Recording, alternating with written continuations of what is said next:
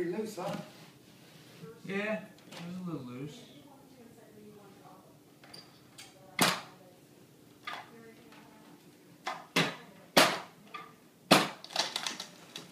a little loose.